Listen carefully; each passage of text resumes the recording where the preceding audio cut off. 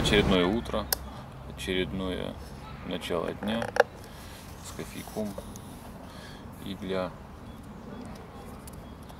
хорошего дня нужен хороший завтрак. Поэтому сегодня будет мега сэндвич.